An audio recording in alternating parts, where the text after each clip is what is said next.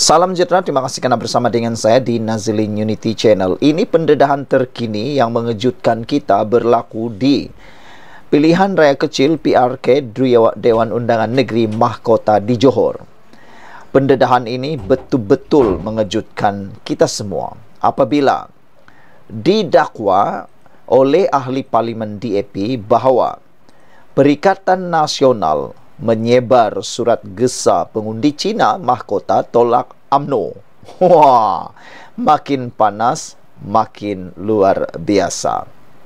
Ketika pilihan raya kecil PRK mahkota semakin rancak, terdapat perbuatan memasukkan surat layang ke dalam peti surat bagi meminta pengundi Cina menolak calon AMNO Said Hussein Said Abdullah ahli parlimen Keluang dari DAP, Wong Shi Ke berkata, surat-surat tersebut ditulis dalam bahasa Cina bertajuk Seruan kepada pengundi dalam pilihan raya kecil mahkota, kami harap untuk melihat layanan adil untuk semua rakyat di Johor.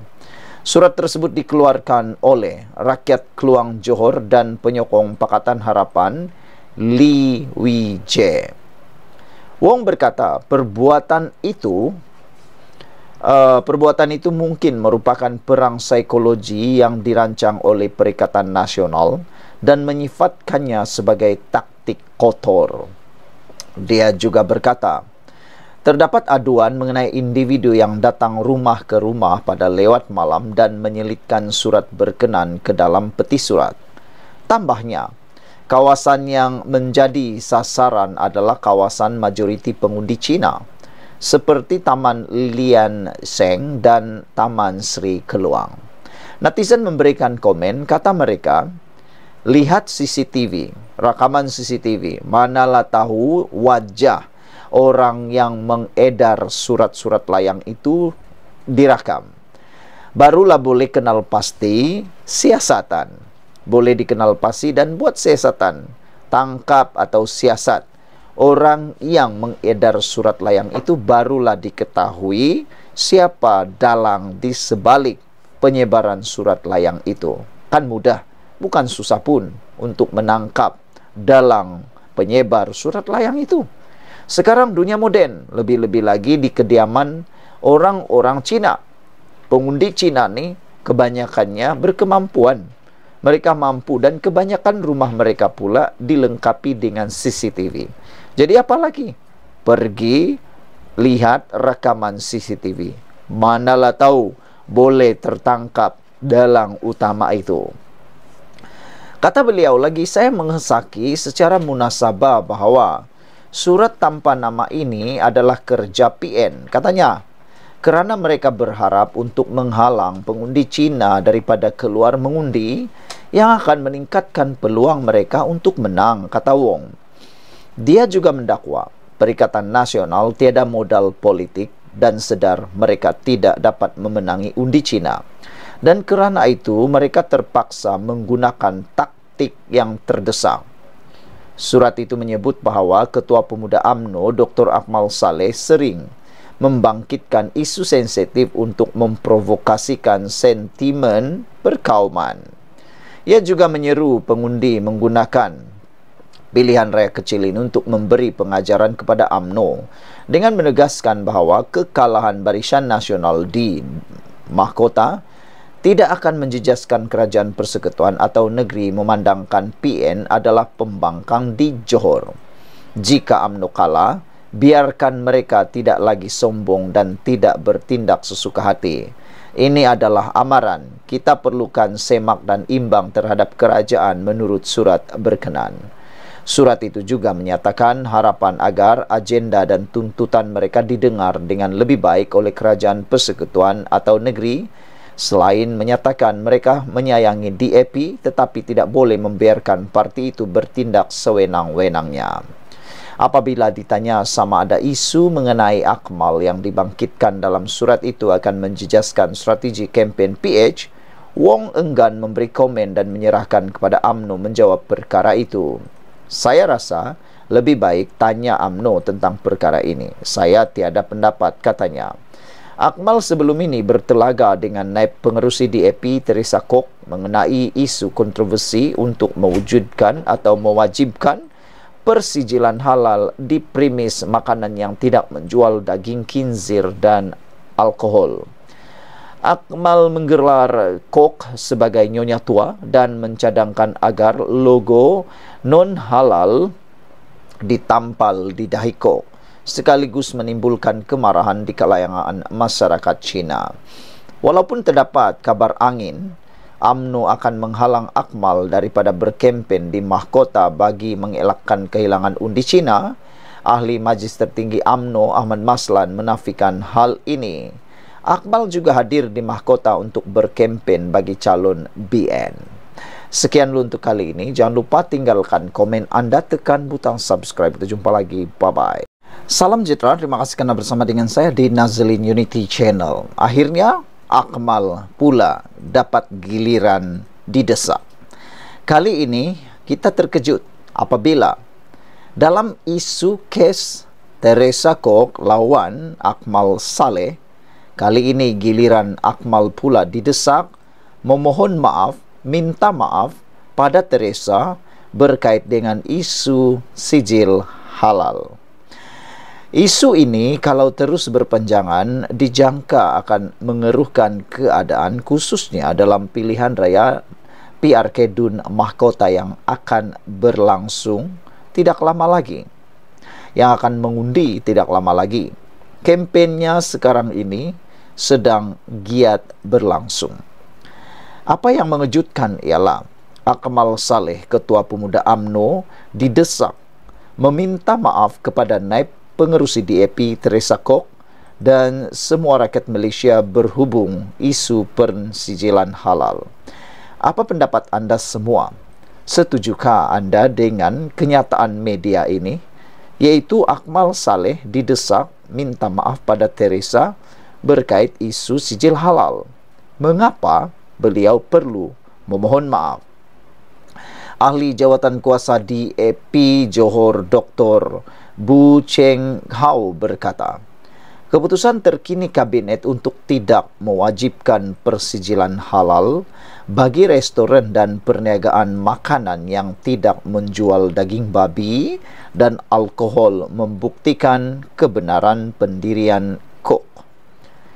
Keputusan kabinet membuktikan kebimbangan Teresa Kok terhadap perkara itu adalah berdasarkan kedaulatan undang-undang dan pandangan terhadap perlembagaan persekutuan.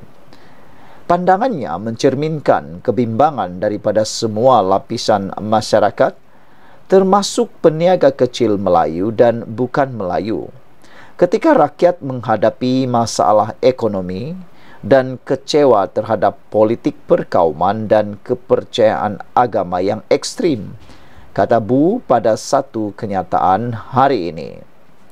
Sebelum ini, Teresa Cook yang juga ahli Parlimen Seputih disiasat berhubung kenyataannya mengenai cadangan mewajibkan persijilan halal ke atas restoran dan syarikat makanan yang tidak menghidangkan daging babi dan alkohol. Antara lain, Kok berkata, cadangan itu bakal membebankan peniaga termasuk orang Islam dan boleh menjejaskan imej Malaysia. Susulan itu, Akmal Saleh menggelarkan Teresa Kok sebagai nyonya tua dan memberi amaran supaya pemimpin DAP itu tidak mencampuri urusan berkaitan agama Islam. Dia juga secara sinis meminta kerajaan menyediakan logo non-halal untuk ditampal di dahi pemimpin DAP itu. Kok telah memberikan keterangan kepada pihak polis berhubung isu itu namun menegaskan tiada keperluan untuk pihak berkuasa itu melakukan siasatan terhadapnya. Dia juga telah dipanggil ke Ibu Pejabat S uh, Suruhanjaya Komunikasi dan Multimedia Malaysia di Putrajaya untuk disiasat di bawah Section 233 Akta Komunikasi dan Multimedia 1998 atas penyalahgunaan kemudahan rangkaian dan perkhidmatan rangkaian. Pada hari sama, Kok mengeluarkan surat tuntutan kepada Akmal bagi menuntut ganti rugi berjumlah 25 juta ringgit. Dalam notis yang dihantar oleh peguamnya, Sangkara Nair and Partners, Kok mendakwa Akmal memutar belit kenyataannya mengenai isu pensijilan halal. Sebelum kempen PRK Mahkota terdapat kebimbangan bahawa serangan Akmal terhadap Kok mungkin menjejaskan peluang Barisan Nasional untuk menang di kerusi itu. Ini kerana pengundi Cina meliputi kira-kira 35% daripada jumlah pengundi di Dewan Undangan Negeri berkenan. Pun begitu, pengerusi Barisan Nasional Ahmad Zaid Hamidi pada 19 September menjelaskan pergeseran antara Ketua Pemuda AMNO dan naib pengerusi DAP berhubung isu pensijilan halal sudah reda. Zaid berkata dia sudah pun mengeluarkan kenyataan pada 18 September berkaitan pendirian kerajaan bahawa permohonan sijil halal kekal dibuat secara sukarela.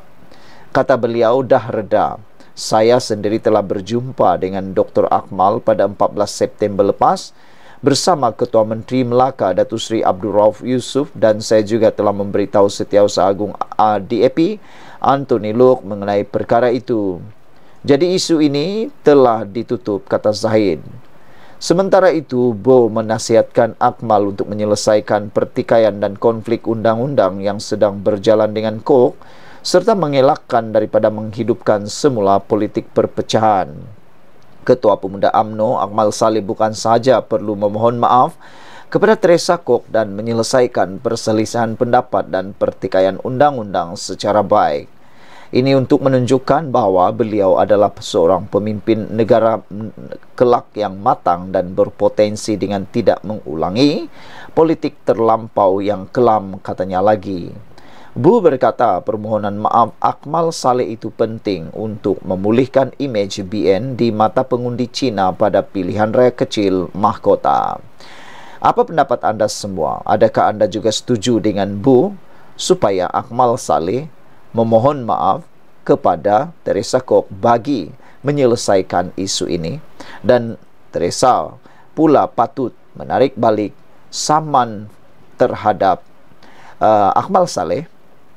Tiga komen daripada netizen berkait isu ini ialah E1979 kata Akmal ni tak layak dapat gelaran datuk pun katanya. Tak ada adab.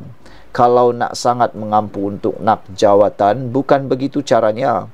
Buang dari AMNO tukar dengan yang ada adab kata E1976.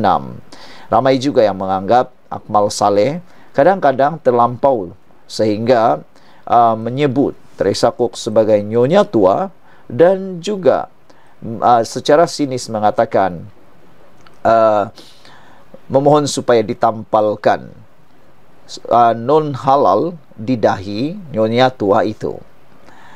EKJ kata bagai mencai, uh, mencurah air ke daun keladi. Mamat tu ataupun merujuk kepada Akmal Saleh tak ada hormat bukan sahaja dengan Teresa tapi semua orang. Keangkuhan dia tak boleh dibawa bincang katanya. Jadi biarkan sajalah sampai masa dia akan tersungkur dan lepas menghilang paling lama pun PRU akan datang kata EKJ.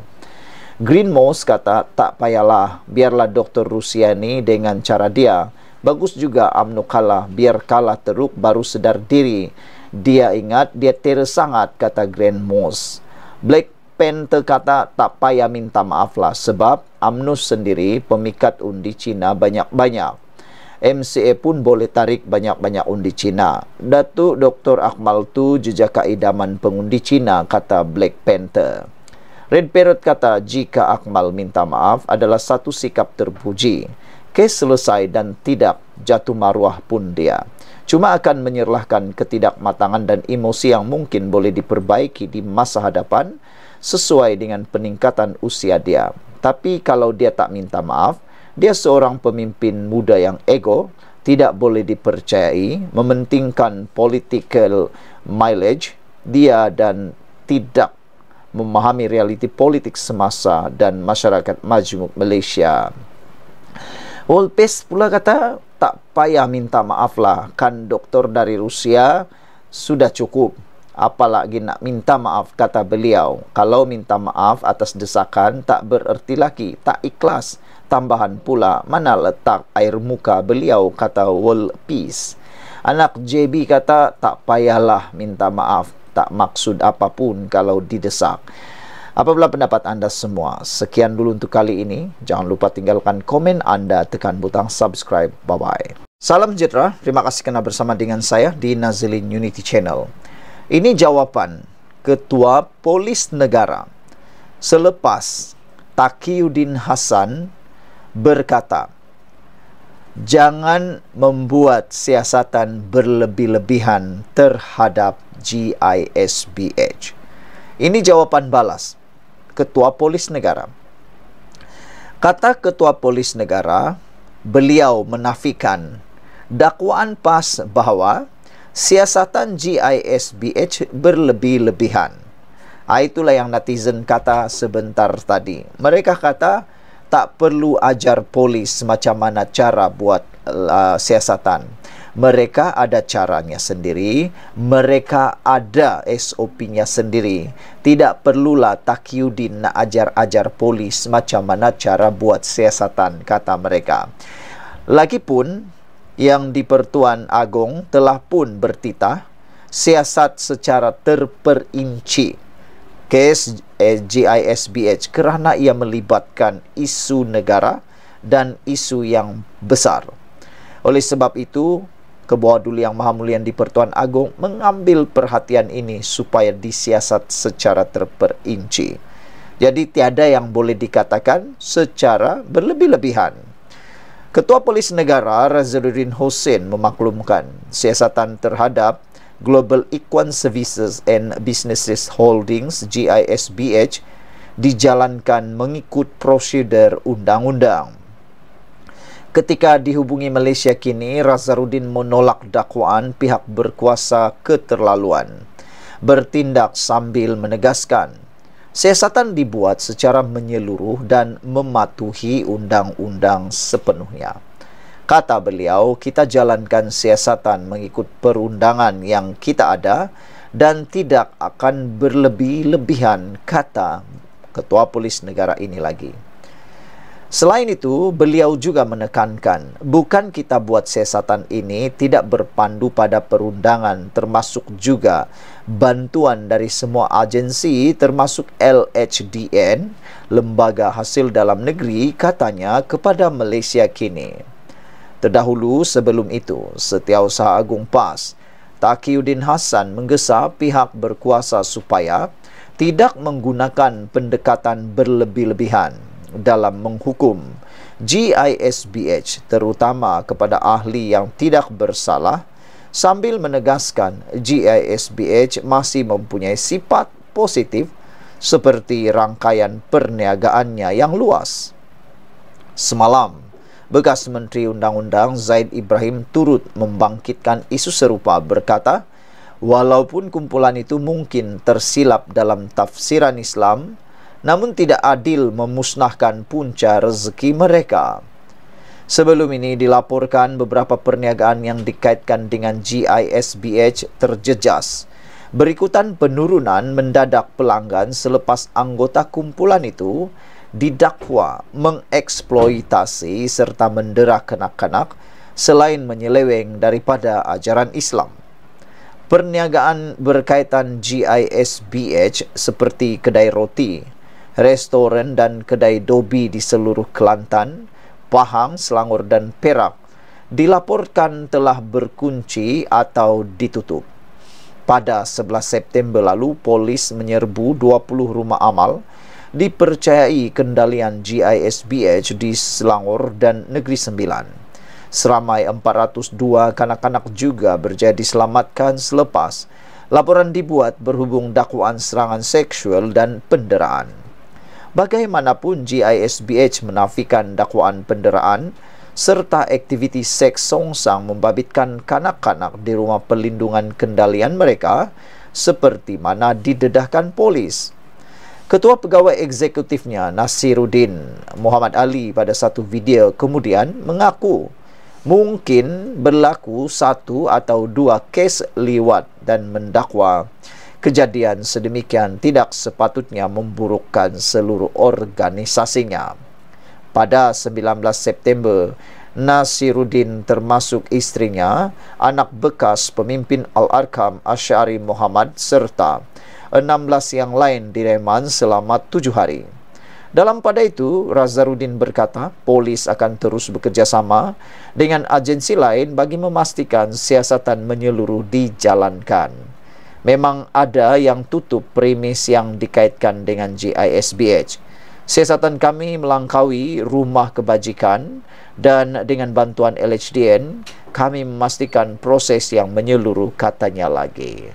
Sekian untuk kali ini. Jangan lupa tinggalkan komen anda, tekan butang subscribe. Salam sejahtera, terima kasih kerana bersama dengan saya di Nazilin Unity Channel. Ini kejutan paling besar dibuat oleh PAS berkait dengan isu GISBH. Ini adalah uh, satu kenyataan yang tidak dijangka langsung oleh netizen. Selepas beberapa buah negeri telah pun uh, mula mengambil perhatian dan mula menilai GISB sebagai ajaran sesat, antaranya Negeri Perlis, Kelantan dan Johor. Kali ini, PAS pula mengumumkan kenyataan yang agak mengejutkan dan menghairankan netizen. Dengan mengatakan bahawa siasat GISBH jangan berlebih-lebihan. Sambil memuji tindakan polis terhadap Global Equine Services and Businesses Holding, PAS mengkritik dan menggesa pihak berkuasa supaya tidak bertindak secara berlebihan. Netizen mula bertanya. Mereka kata, kenapa PAS berkata seperti itu? Apakah sebabnya PAS boleh mengeluarkan kenyataan tersebut, iaitu siasat JISBH tapi jangan berlebih-lebihan? Adakah berlaku siasatan yang berlebih-lebihan? apa maksud siasatan yang berlebih-lebihan? Bukankah siasatan itu mempunyai garis panduannya sendiri, mempunyai SOP-nya sendiri? Tapi kenapa pula PAS tiba-tiba keluarkan kenyataan seperti ini? Adakah sesuatu yang kita tidak pernah tahu? Setiausaha Agung PAS Takiuddin Hasan berkata, parti itu mengikuti rapat perkembangan siasatan terhadap GISBH. PAS mengalu-alukan siasatan yang telus, terperinci dan profesional ke atas pelbagai dakwaan terhadap GISBH mengikut undang-undang yang sesuai.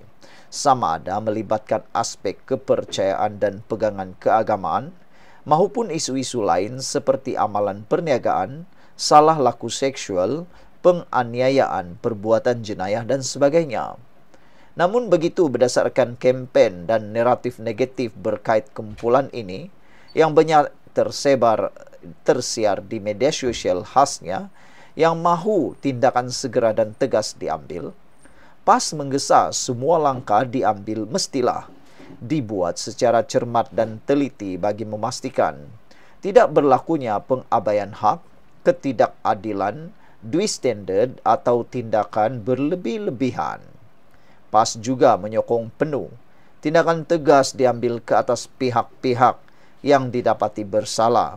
Tetapi kegairahan untuk menghukum mereka tidak seharusnya memberi kesan buruk ke atas kumpulan itu secara keseluruhan. Terutama sekali ahli-ahlinya yang tidak bersalah atau aspek-aspek aktiviti GISBH yang sah, patuh undang-undang dan bermanfaat katanya pada satu kenyataan hari ini. PAS menegaskan terdapat beberapa aspek positif mengenai GISBH seperti rangkaian perniagaan yang besar. PAS percaya sisi-sisi positif kumpulan ini, termasuk jaringan perniagaan yang luas, hendaklah dipelihara dan dilindungi daripada tindakan terburu-buru dan tidak adil yang mungkin berpunca daripada sentimen melulu prasangka, persaingan perniagaan atau agenda politik tertentu pihak-pihak yang mahu menangguk di air keru, kata Takyudin. Semalam, polis menahan 155 lagi ahli GISBH dalam serbuan besar-besaran melibatkan pelbagai agensi di seluruh semenanjung Malaysia pada awal pagi.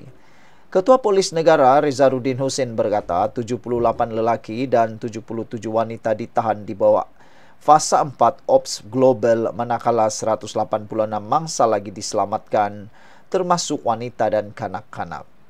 Penahanan itu berlaku selepas polis menyelamatkan 402 kanak-kanak dalam serbuan ke atas 20 rumah amal GISBH di Selangor dan Negeri Sembilan pada 11 September dengan 171 orang ditangkap.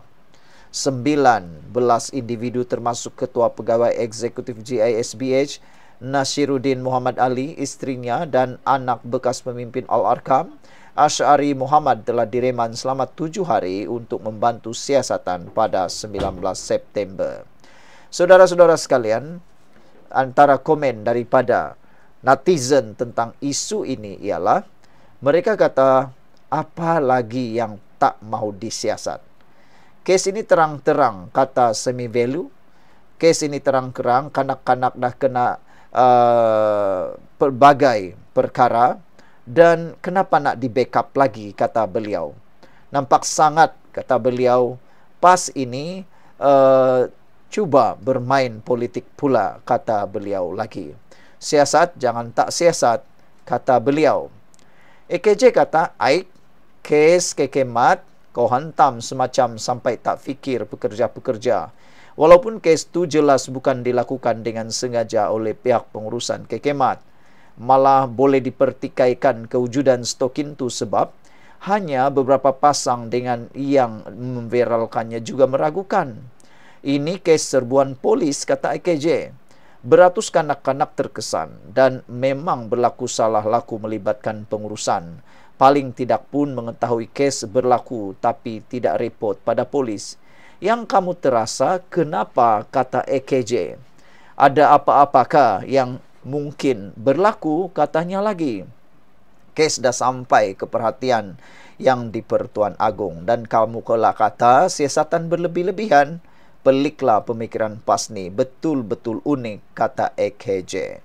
Black Panther pula kata, ha, inilah dui standard terang-terangan PAS, katanya lagi.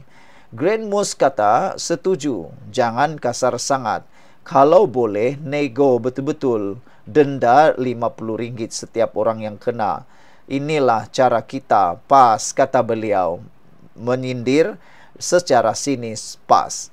Kalau boleh, kata beliau, aha, berhenti melakukannya. Ping Merlin kata titah agong supaya siasat ter, secara terperinci. Apalagi yang pas mau, kata Ping Merlin. Wan Khalid kata nampak pas ni uh, cuba pula bermain politik lagi, kata Wan Khalid. Black Hawk kata siasatlah sampai ke akar umbi. Ada kemungkinan ada ahli politik yang mungkin pernah menerima dana daripada GISBH, kata Black Hawk. Nampaknya ini sesuatu yang perlu disiasat lebih terperinci dan dalam lagi. Orang politik jangan cuba mengajar polis, kata Black Hawk. Polis mempunyai cara untuk menyiasat. Ada SOP dan standardnya sendiri tidak perlu diajar polis bagaimana membuat siasatan. Mereka tahu sejauh mana, sedalam mana cara untuk menyiasat. White Pigeon kata, masa kekemat dia atau pas tak cakap macam ni? Sekarang lebih teruk dari kekemat. GISBH patut ditutup dan dihukum sebab kesalahan mereka. Kepada kanak-kanak tak boleh dimaafkan, kata White Pigeon. GISBH bukan budak kecil yang buat silap dengan tak sengaja. Tak ada belas kasihan bagi mereka, kata White Pigeon. Purple Mouse kata siasat terperinci. Mana tak tahu ada ahli-ahli politik yang mungkin terlibat, kata Purple Mouse. Sekian untuk kali ini. Jangan lupa tinggalkan komen anda. Sila tekan butang subscribe. Terjumpa lagi. Bye-bye.